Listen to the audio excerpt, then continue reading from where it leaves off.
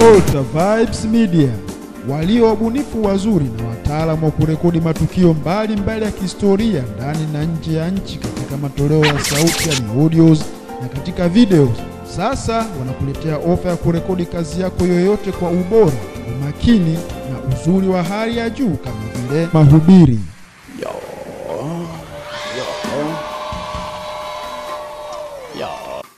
harusi, sendo, uchumba, mahafali, kipa imara, misiba, kwaya na kadhalika. Na vyote hivi tutakurekodia kwa kutumia vifaa vyetu vya kisasa na kwa bei nafuu na muda mfupi. Wasiliana nasi sasa. Alta Vibes Media, tunahakikisha tunaacha alama ya kumbukumbu kwako.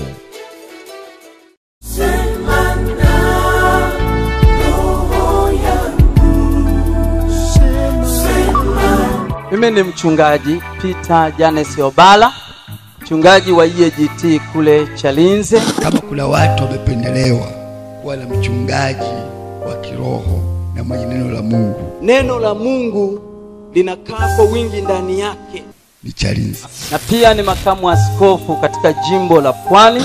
mwenye mzigo wa kazi ya Mungu. Mimi nami ni kijana, tanifagie dunia sawa sawa, na bado tena ni mkuu wa chuo kilichoko Kongwa, kwa nimekuwa nikifundisha wachungaji. naenda niwashuhudie wa, wa Kenya eti nimeenda nikiwa njaa, nimepokea mambo mengi kwa ibada. nimerudi nikiwa nimeshiba. yaani mpaka nimemshangaa Mungu. Huyu mtumishi wa Mungu huyu ni wa ajabu sana. Upenyo una hali ya kukufanya usonge mbele. Usizoee vita, hata kama ni watu wale wale, hata kama ni adui yule yule. Kila vita ina lengo lake. Angekuwa Daudi anatumia kwamba ushindi wa zamani ni ushindi ule ule, vita ya zamani itakusaidia experience. Daudi akasema, dubu na simba walitokea, nimemwona Bwana akiniwezesha, lakini naenda kupambana na vita nyingine ya Goliati. Huyu ni Mfilisti ambaye hajaokoka, hajatairiwa. Namwendea yeye, ananijia kwa fumo, lakini simba hawakuja na fumo, dubu hawakuja na mikuki. Huyu ni vita nyingine. Mfilisti ana fumo, ana mikuki, ana dirii zile za ku, za ku, za ana ngao, lakini mimi namwendea kwa jina la Bwana wa majeshi. Amen. Bwana asifiwe. Tufungue Biblia katika kitabu cha Mambo ya Nyakati wa Kwanza, Nyakati wa Kwanza sura ile ya kumi na nne mstari wa kwanza mpaka mstari wa pili, lakini tutaanza tena mstari wa nane mpaka mstari wa kumi na saba. Mambo ya Nyakati wa Kwanza sura ile ya kumi na nne mstari wa kwanza na wa pili mstari wa nane mpaka wa kumi na saba. Biblia nasema naye hiramu mfalme wa tiro akatuma wajumbe kwa daudi akampelekea na mierezi na waashi na maseremala ili wamjengee nyumba. Daudi akajua ya kwamba bwana amemweka imara ili amiliki juu ya israeli kwa kuwa miliki yake imeinuka kwa ajili ya watu wake israeli mstari ule wa nane biblia inasema wafilisti wote wakapanda kumtafuta daudi. Naye daudi akasikia akatoka nje kupigana nao. Basi hao wafilisti walikuwa wamekuja kuteka nyara katika bonde la warefai. Daudi akamuuliza mungu kusema je nipande juu ya wafilisti? Utawatia mikononi mwangu? Naye bwana akamwambia panda kwa kuwa nitawatia mikononi mwako basi wakapanda mpaka baali Parasimu. hebu mwambie mwenzako upenyo. Upenyo. Upenyo. Upenyo ni hali ya kuwa ni hali ya kuwa au ya kutumia fursa. Ni hali ya kuwa na fursa au hali ya kutumia fursa kutumia nafasi kutumia mwanya kufanya jambo. Upenyo ndani yake kuna kibali. Bwana yesu asifiwe sana. Kibali ni ruksa ridhaa idhini. Bwana asifiwe sana. Kibali ni ridhaa lakini unaweza ukawa na kibali. Umekuwa na ridhaa. Ila huna upenyo hutumii ile nafasi. Upenyo unaweza eh, unaweza ukawa na kibali. Kibali kipo. Lakini hujapata nguvu ya kutumia kibali kile. Unajua upenyo upenyo ni hali ya kutumia nafasi ulionayo mwanya ulionayo gap ulionayo nafasi ulionayo ili umletee mungu utukufu. Huo ni upenyo ni kama kamlango kanafunguliwa lakini vinachangia vitu vingi. Lazima pale pawepo na kibali. Alafu katika upenyo ule kuwe, kuna kuwepo na force kuna kuwepo na nguvu inayokushurutisha kufanya vitu. Ndipo tunasema kwamba ni upenyo. Nitaifafanua tena. Bwana asifiwe sana. Ufe, upenyo kwa maneno mengine. E, upenyo kwa maneno mengine ni hali ya kupenya. Ina hali ya kupenya kama kulikuwepo na ukuta mahali hapa unapenya zaidi. Ni hali ya kupenya ni hali ya kuvumbua mambo mapya ni hali ya ushindi mpya mafanikio mapya kusonga mbele kuliko kupya dhidi ya upinzani dhidi ya vizuizi dhidi ya maadui.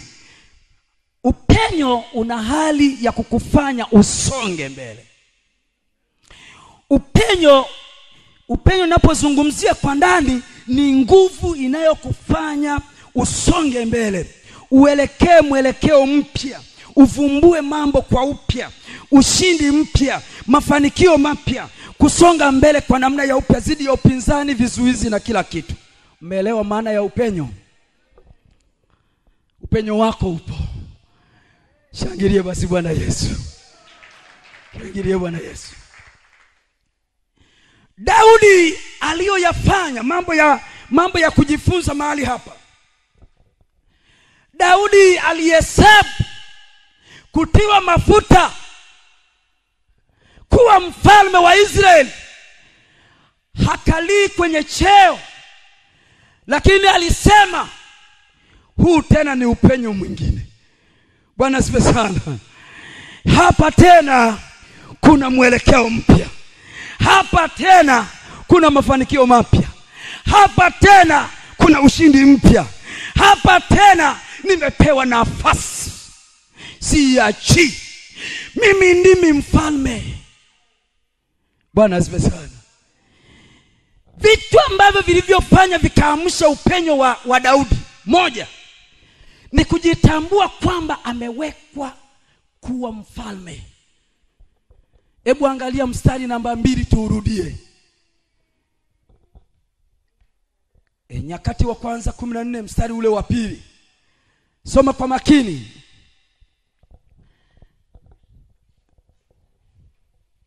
Nataka nizungumzie upenyo unavyoweza kukusaidia ukapenya vizuizi.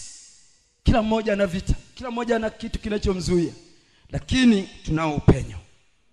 Mstari wa pili daudi akajua ya kwamba bwana amemweka imara ili amiliki juu ya israeli kwa kuwa miliki yake imeinuka kwa ajili ya watu wake israeli. Bwana asifiwe sana. Bwana asifiwe. Shangilia basi bwana yesu. Daudi yule ni wewe. Leo ni kama wewe unaambiwa daudi wa leo ni wewe na mimi. Akajua unajua kujua ni zaidi ya kufahamu. Daudi akajua ametiwa mafuta awe mfalme. Na ufalme wake umeimarishwa. Anasema miliki yake ni imara. Na moja kwa moja alimjua mungu ni nani na mungu akishamweka kwenye kitu kaweka. Mungu huwa habahatishi bahatishi yaani nakupa kama kazoezi hivi. E, kama mwendo ule wa wa kinyonga. Niende nisiende. Kinyonga tena nenda. Niende nisiende nenda. Habahatishi mungu huwa habahatishi bwana siwe sana. Mungu akishakuweka kwenye nchi amekuweka ili uweze kutawala kwa madhumuni yake yale ambayo yaliyokuwepo katika mwanzo moja ishiri na nane. Zaeni mkaongezeke na mkatawale ndege wa angani ndege hawatakiwi kututawala. Alafu samaki wa baharini na chochote kinachotambaa na wanyama wote wako chini yetu. Jipigie makofi kwanza.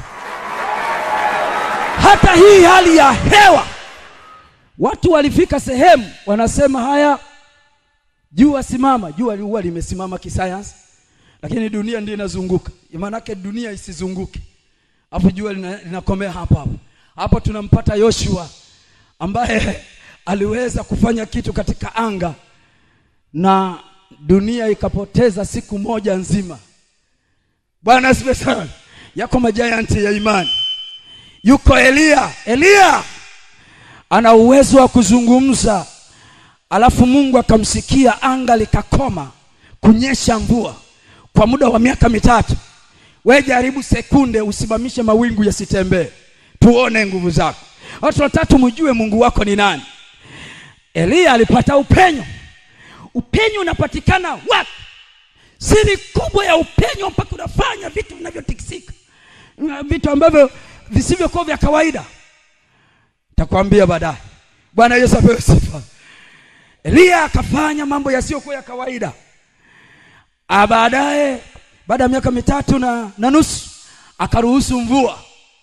Na kuna watu walikuwa wanakwenda kwa hazia kwa hazia ameanguka kutoka orofani. Alafu amepatikana na maumivu katika mwili wake. Alafu anaenda kwa waganga wa kienyeji anaweka watu hamsini hamsini maskari kwenda kwa waganga wa kienyeji. Akatumwa Elia kwenda kwenda kuwazuia. Kama mahali fulani kila gurupu lililokuja linakuja alafu kwa sababu linakuja bila adabu basi moto unashuka. Elia alikuwa ni nabii wa moto. Yaani kama ukwenda sawasawa na mapenzi ya mungu aidha upone au moto kulambe yaani ni tishio ukikutana na Elia. Lakini alikuwa mwanadamu kama sisi alipata upenyo. Bwana yesu apewe sifa. Kwa hiyo mpaka lile kundi la tatu lilipojifunza kumheshimu mtumishi na kunyenyekea hilo likawa salama. Hata hivyo akaambatana nalo halafu akaenda kumtangazia mfalme mambo ambayo alitakiwa kutengeneza lakini yeye hakukubali neno la bwana basi akawa amekufa. Esther akaingia kwenye maombi ya siku tatu ya kufunga na kuomba pamoja na ndugu wengine wa Kiyahudi. Alafu akasema naingia kinyume cha sheria za Umedi na Uajemi. Bwana asifiwe sana. Haijalishi nitakubalika sikubaliki, lakini naingia kinyume cha sheria za Umedi na Uajemi. Nimepata upenyo, mimi ni malikia. Nilikuwa mtu wa kawaida, nimepata nafasi, fursa nzuri ya kuwa malikia. Naweza nikafanya kitu, naweza nikaingia kwenye nyumba ya mfalme. Sasa kibali kitoke kisitoke hayo siyo yangu mimi mradi nina upenyo natumia mbinu zile za kufunga na kuomba bwana siwe sana upenyo ni ile nafasi. Ni ile gap yani nafasi ulionayo. Ni ile fursa ulionayo. Wewe ni nani? Mahali ulipo. Bwana asifiwe sana. Daudi atajitambua yeye ni nani. Daudi atajitambua kwamba yeye ni mfalme. Yeye amewekwa kuwa mfalme. Ufalme wake ni imara. Waende wakamkomvisi mungu mungu ameshanitia mafuta batie mafuta ya bwana huwa hayarudi nyuma. Hayawezi kufutwa na maneno ya mtu. Hayawezi kugangika kwenye waganga wa kienyeji.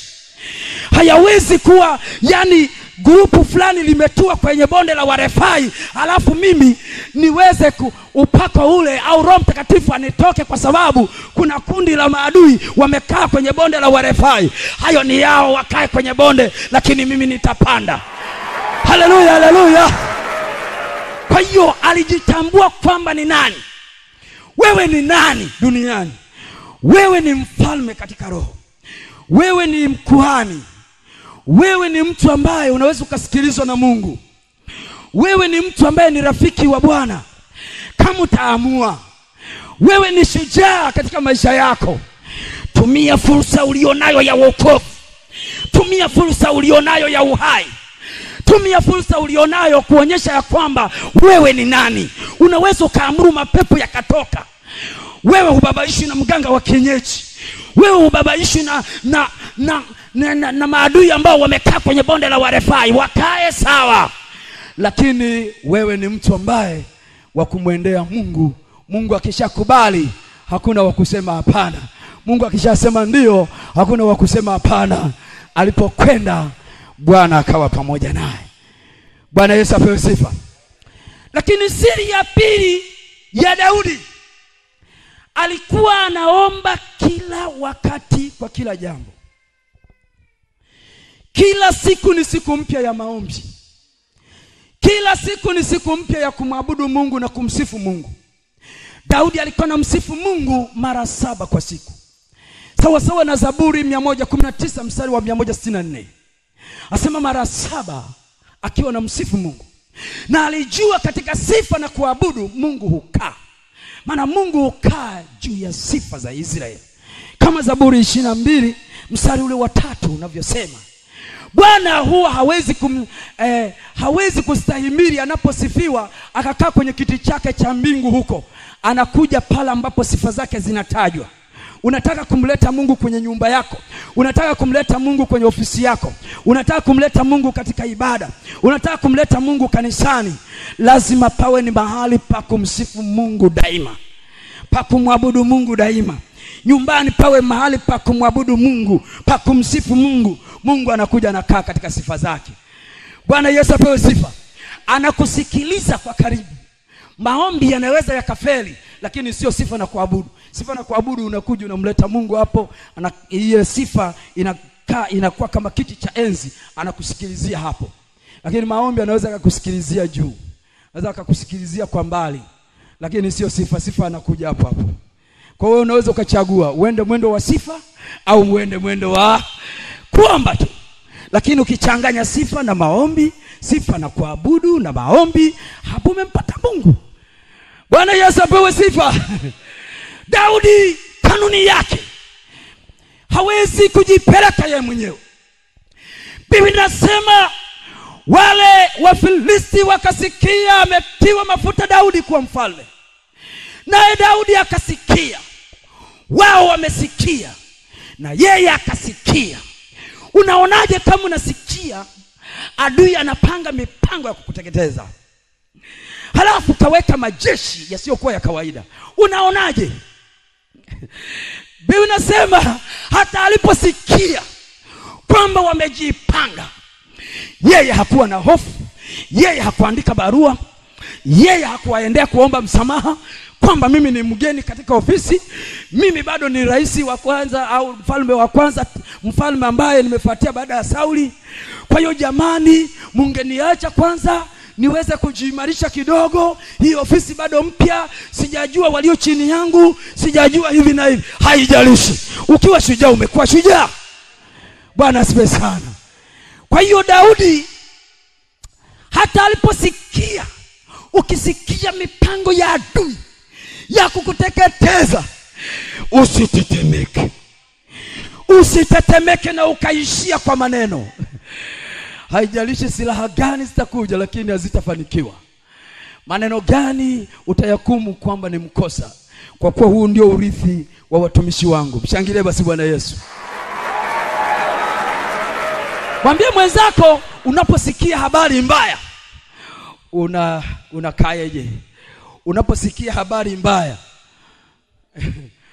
nehemia aliposikia habari mbaya akalia siku kadha wa kadha akaondoka na maono ya kujenga ukuta. Amesikia ukuta umebomole, umebomoa umebomolewa kule na adui. Lakini aliposikia zile habari mbaya hakuenda sasa kwenda kushambulia wale waliobomoa. Alikaa siku kadha wa kadha miezi minne akiwa anamlilia mungu pamoja na kufanya kazi kwa mfalme. Lakini akakaa miezi minne akiwa ametulia baada ya pala akaondoka na maono ya kujenga ukuta. Bwana yesu apewe sifa. Anao upenyo. Yuko kwenye nyumba ya ufalme. Nehemia yuko kwenye nyumba ya ufalme. Anaweza akaachana na wanaohangaika huko. Anaweza akawa na kula luxury zake akaendelea. Lakini baada ya kukaa siku kadha wa kadha bwana akaweka mzigo. Bwana akaweka na kibali akapata na kibali kwa mfalme akaondoka akaenda mpaka kwenye tatizo lilipotokea akapambana akaangalia hali ya hewa akaingia kwa, wa, eh, kwa wayahudi viongozi mbalimbali akaambia jinsi bwana alivyomtokea na kwamba ni lazima ukuta uinuke. Katika siku hamsini na mbili ukuta ukawa umeinuka. Mshangilie bwana yesu. Bwana asifiwe bwana asifiwe kwa hiyo jambo la kwanza ni kutambua ya kwamba wewe ni nani. Jambo la pili ni kumwendea mungu wako uhusiano wako na mungu ndio utakao kufanyishia ile nguvu ya upenyo ifanye kazi. Upenyo unaweza ukawa nao nafasi unaweza ukawa nayo lakini nafasi bila nguvu inayotoka katika mahusiano yako na mungu inaweza ikawa ni ngumu. Kwa hiyo uhusiano wako na mungu yale mahusiano yako na mungu. Maombi eh? kusoma neno tabia yako na mungu. Hivyo ni vitu ambavyo vitakufanyia eh, nguvu ya upenyo iweze kufanya kazi. Halafu na kibali kitatokea kutoka katika eneo hilo. Bwana yesu apewe sifa. Hizo ni pointi mbili ambazo ni za msingi sana kuzielewa unapokuwa unaendelea kupambana. Lakini jambo la tatu tambua kuwa kuna wakati wa mungu kufanya mambo kwa ajili yako. Kuna wakati mungu kufanya kwa ajili yako. Na kuna wakati ambapo wewe inatakiwa ufanye. Mstari ule wa kumi na moja hebu soma mambo ya nyakati wa kwanza kumi na nne mstari wa kumi na moja. Basi wakapanda mpaka balperasimu daudi naye akawapiga huko. Daudi akasema bwana amewafurikia adui zangu kwa mkono wangu kama mafuriko ya maji basi wakapaita mahali pale jina lake Baliperasimu. bwana yesu apewe sifa. Kwa kweli mapigano yale bwana alimtumia hapa daudi. Mwanzoni bwana amemtumia sana. Na a, yeye alipokuwa anafanya kama kupiga kidogo bwana kwa sababu ya ule upendo, naona hata mungu aliagizia hata na malaika huko. Maana alilinganisha yale mapigo kama mafuriko ya maji mafuriko ya nini? Mafuriko ya maji yalivyo. Chukua sura ya mafuriko ya maji. Yanakokota takataka zote yanaswipu yanasafirisha. Yaani alikuwa anaona ni kama uwezo wa bwana mkono wa bwana. Yaani akifanya kidogo bwana anafanya na ziada. Akifanya kidogo bwana anafanya na ziada. Akifanya kidogo bwana anafanya na ziada. Unaonaje? Bwana siwe sana. Ni kwa sababu ya upenyo ulioko ndani na nguvu ya upenyo ambayo iko ndani. Na kile kibali ambapo umehusiana na mungu alafu kibali mungu akakupatia. Hivyo ni vitu vinavyoweza kukusaidia. Bwana asifiwe sana. Tunataka tumwone mungu ashuke kama mafuriko ya maji. Umenielewa? Ashuke kwenye ofisi hiyo kama mafuriko ya maji. Ashuke kwenye masomo hayo kama mafuriko ya maji. Ashuke kwenye nyumba yako kama mafuriko ya maji. Una uwezo wa kumruhusu? Wewe ndio una fursa wewe ndio unaweza uka, ukampa nafasi kiasi gani mungu? Halafu nguvu ikafanya kazi. Umeelewa mtumishi wa bwana? Mruhusu mungu afurike kwenye kitu kinachokushinda. Afurike kama maji. Leo uombe ombi fulani. Sema mungu wa israeli ulifurika kama mafuriko ya maji. Wakati ule maadui wamejipanga lakini kwa sababu daudi alikuwa naye ameomba ruhusa na akaomba e, akaomba kibali kwa bwana na bwana akamruhusu. Hakutumia mbinu zingine hakwenda kwa mganga wa kenyeji wala kwenda kwa mjomba wala kwenda kwenye ofisi kwamba kusema sasa nifanyeje? Lakini alikuja kwako ukampa mbinu na wale walio chini yako wakakusikiliza wakamsikiliza. Bwana asifiwe sana. Ni kwa sababu ya ule upenyo aliyoupata. Kwa hiyo akawafurikisha kwa mafuriko kama ya maji hebu twende sasa twende jambo lingine ambalo ni la, la msingi sana. Mstari ule wa kumi na tatu. Mstari wa kumi na tatu una jambo la kujifunza. Yaani ushindi uliopita. Bwana asipe sana. Ushindi uliopita si kigezo cha ushindi unaokuja.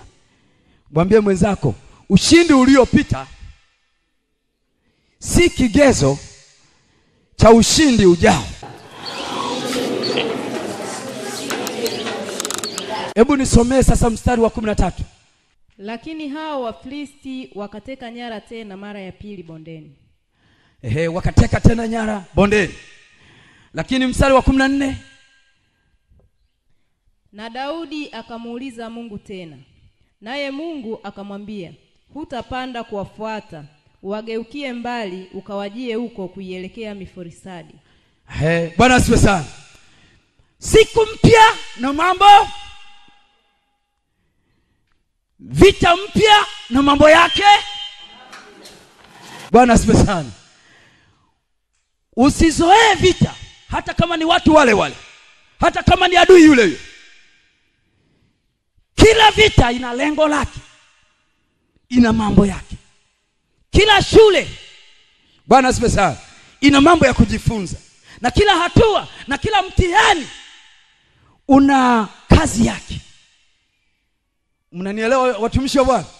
Kila unapovuka mahali halafu ukapatikana na mahali tena pa mtihani pana lengo lake la kukuvushi uende hatua nyingine. Hapo hakuna mchezo. Baada ya kupita nyakati ambazo hatujaelezwa ni muda gani. Wafilisti hawakukata tamaa. Shetani akati tamaa mpaka atakapoondoka hapo. Hujampendeza sana shetani akuache labda kama una ajenda zake uko upande wake. Hapo ndio atakuacha. Maana unafanya mambo yake. Hayo uko kinyume. Mtapambana mpaka mwisho kuokoka ni rahisi. Kutunza wokovu ni vita vya imani. Kusamehe ni rahisi. Kusahau uliotendewa ni vita vya imani. Ni mapambano. Mtumishi wa bwana upo. Shangilia bwana yesu nikumalizie pointi hii. Bwana asifiwe sana. Usizoee vita ya jana kwamba ni vita ya leo. Leo ni siku mpya haijawahi kuonekana. Tarehe ya leo ina mambo yake. Ibada ya leo ni tofauti na ibada iliyopita. Utakapotoka hapa hata nyumba yako utakapoisalimu na chumba chako utakapokisalimu utaingia pale ujue wewe chumba mimi ndiye mtawala hapa. Wewe hujanitawala. Ninyi masinia na kina nani na mavyombo mlioko mimi ndiye niliyewaleta usiongozwe na vitu usiongozwe na nyumba usiongozwe na na chochote. Wewe ndiye mtawala. Upo mtumishi wa bwana? Na kila unapofanikiwa unapanda kuna vita vyake. Ukiingia kwenye ngazi mpya kuna vita vyake. Ukiingia kwenye cheo kipya kuna vita yake. Sasa mapigano mapya. Akasikia wafilisti wamekwenda bondeni tena wameanza kuteka hapa wali- waliruhusiwa kidogo kuanza kutekateka miji ya mabondeni mabondeni. Sasa angekuwa daudi anatumia kwamba ushindi wa zamani ni ushindi ule ule. Experience ya zamani. Hasina haja ya kuomba sina haja natumia nguvu zangu zile zile. Mimi sitaki sasa hivi kuomba. Niliomba jana nikaomba mwezi uliopita nilifunga siku tatu. Inatosha sana hizo akiba kuendelea na ushindi. We! Hujajua silaha gani zitakazotumika hapo. Bwana ndiye anayefahamu. Shangilie basi bwana yesu bwana asifiwe! Hakuna cha uvivu hakuna cha uzembe hakuna cha ku, kuzoea.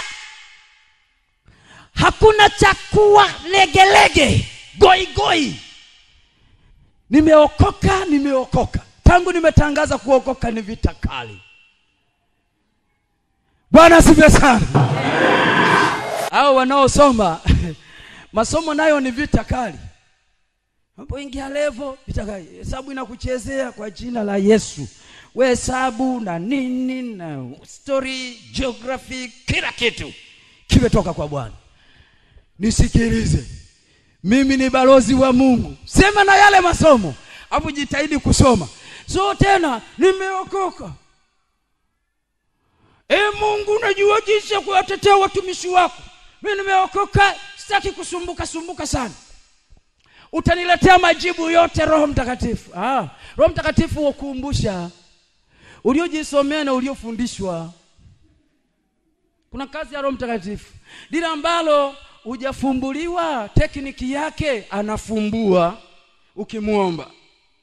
Ukiingia kwenye maombi halafu ukampa ka, ka nafasi anapata upenyo alafu anashika sasa pale usukani wa kukuombea mpaka mambo ambayo hayajawahi hujaweza kutamka hata yatamkiki anakuwezesha. Sasa ufungui mlango wa kuomba ufungui mlango wa bidii aingilie wapi? Upenyo unao umejifungia mlango. Kaa nao hapa utaona yatakayokutokea haleluya haleluya! Lakini watu ambao wanasoma na bwana asema bwana niko hapa balozi wako. Kwenye shule hii itajulikana ya kwamba nani ameokoka nani hajaokoka. Nani anakwenda na wewe na mimi ni mwanao na kwamba wewe nalibeba jina lako itajulikana. Nyumba hii. Haleluya. Haya wanafunzi mmepata hapo. Ngoja nije kwa wanandoa. Mwanamume anakuambia hey! toka hapa nimetoka na wewe sijui nini na nini unanizalia wa kike tu unazalia wa kike tu. Eh, hata hauna wa kiume. Hatoki mtu. Yaani wewe sema kipolepole. Kwanza uki, ukimwambia kwa sauti sana a, atachanganyikiwa yeye mwenyewe. Hizi lugha za kiroho hazijui. Sema ndani hayo aliyoyasema mungu wewe unayafahamu. Yasome uyajibu. Kwanza sitoki. Hii ndoa haijabatishwa haijabahatishwa wewe huwa ubahatishi huna bahati nasibu. Wewe ni halisi. Umeniweka kwa makusudi. Hii nayo ni shule. Najifunza kwako. Hapa lazima hang'oki mtu hashindwi mtu itaeleweka. Atoke mwenyewe. Atoke mwenyewe. Kwani ndoa hii umetoka wapi? Simesajiliwa na mungu mwenyewe. Yeye ni mtaalamu. Yeye aliumba hizo ndoa ndoa zimeanzishwa na mungu mwenyewe. Alianzisha yeye mwenyewe. Wapi? Mungu ndiye kaanzisha yeye mwenyewe mtaalamu. Haleluya haleluya tumshangilie mungu. Vita ya zamani vita ya zamani. Itakusaidia experience za namna fulani. Itakusaidia uzoefu. Inaweza ikakusaidia kukutia moyo. Daudi akasema dubu na simba walitokea. Nimemwona bwana akiniwezesha halafu na kumnyang'anya simba na dubu kondoo. Lakini naenda kupambana na vita nyingine ya goliati huyu ni mfilisti ambaye hajaokoka hajatailiwa namwendea yeye ananijia kwa fumo. Lakini simba hawakuja na fumo. Dubu hawakuja na mikuki. Huyu ni vita nyingine. Mfilisti ana fumo ana mikuki ana dirii zile za ku, za, ku, za nangao. Lakini mimi namwendea kwa jina la bwana wa majeshi namwendea kwa jina la bwana wa majeshi. Halafu ana experience yake ya kutumia silaha fulani. Ana kombeo na kajiwe silaha dhaifu.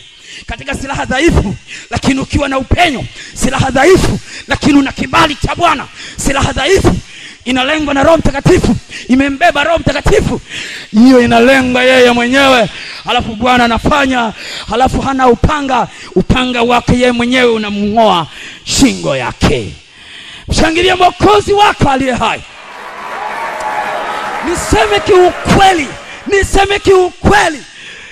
Tumia experience ya wakati uliopita lakini hizo zi, zinakupa moyo na kukusaidia tu lakini si silaha zote ambazo utakazozitegemea za wakati uliopita gundua tena katika upenyo kuna uvumbuzi katika upenyo kuna mwelekeo mpya katika upenyo kuna ushindi mpya katika upenyo kuna mbinu mpya. Akaambiwa leo usiwafatie usiende kichwa kichwa usiwafate si wako pale usiende direct. Zunguka. Zunguka. Alafu fika kwenye miti fulani. Ukifika kwenye miti ya miforosadi. Miti ya miforosadi nitakuweka pale. Hata kama adui atakuja hata kuona. Wakati ukiwa kwenye mi, mi, miti ya miforosadi utasikia sauti. Bwana asifiwe sana. Utasikia mvumo ukisikia ule mvumo toka kwa sababu mungu yuko anatembea kwenda pamoja nawe. Atakutangulia ataweka vishindo kama alivyoweka vile vya wakoma. Watasikia kama vishindo vya majeshi. Halafu wewe ni peke yako uko kwenye miforosadi. Hata kama una watu wachache lakini uko kwenye miforosadi. Umejificha wapi bwana asifiwe sana. Mahali ambapo bwana amekuweka mahali ambapo mungu amekufunulia bwana akamwambia usiende direct. Hii ni mbinu nyingine. Zunguka kwenye miti ya miforosadi. Lakini kitu kingine uwe na masikio ya kusikia. Usiposikia chochote usitoke. Na kama utasikia wiki nzima kaa hapo hapo. Maadui atakuwa anazidi kujijenga ukisikia sauti ya mvumo toka kwa kuwa mungu yuwatembea haleluya haleluya. Vita hii ya pili hii inahitaji ilikuwa na tekniki ya kufata tena mwelekeo mpya. Kwa sababu ya upenyo aliyokuwa nao daudi akapewa mwelekeo mpya akaenda mpaka kwenye miti ya miforosadi. Na pale palikuwa panatakiwa awe makini kusikia. Kama si mwombaji atasikiaje sauti ya mungu? Ni ngumu. Kama hana uhusiano na mungu atasikiaje kwamba nifanyeje na huu mradi? Nifanyeje mambo haya? Unafika unachanganyikiwa. Bwana sifiwe hapa ujue hivi ni kwamba daudi ndiye anaingia kwenye ofisi ya ufalme. Na pale titi fotati vita inaanza. Ili kusudi kabla hajajiweka sawa wammalize. Alafu anapata ushindi wanajiunda tena. Hawakuchukua muda mrefu sana. Wanajiunda tena. Wanasema tutammaliza. Wana mbinu zingine. Naye mungu ana mbinu zingine. Wakigundua mbinu hizi naye ana mbinu hizi. Bwana asifiwe sana. Mwisho kabisa jambo la mwisho kabisa ni kwamba usisahau wakati unapojenga pia lazima uendelee kupigana vita. Kuna kujenga na kupigana vita. Daudi mstari wa kwanza unasema e, ndugu yake mfalme yule wa tiro hiram akawa ametoa miti ya mierezi. Alikuwa rafiki yake akamsaidia. Wakati huo huo vita vikatokea. Ame a, wamsaidie katika kuijenga nyumba yake nyumba ya daudi ya enzi. Sasa rafiki wana wanakuja kwa ajili ya kujenga vita vinatokea pale pale. Unajua ilibidi apange section hata kama ni mgeni kwenye ofisi ile.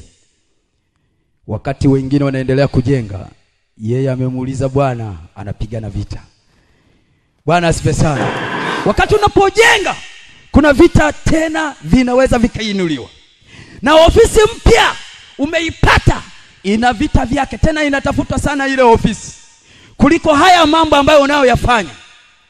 Kwa hiyo wakati unapojenga kitu unaanzisha mradi mpya unajenga nyumba unanunua kiwanja. Eh? bwana asifiwe bwana asifiwe. Usisahau kupigana vita. Usisahau kumwe, kumwendea bwana akusaidie katika mwelekeo ule wa kujua namna ya kupigana vita. Tusimame watumishi wa bwana.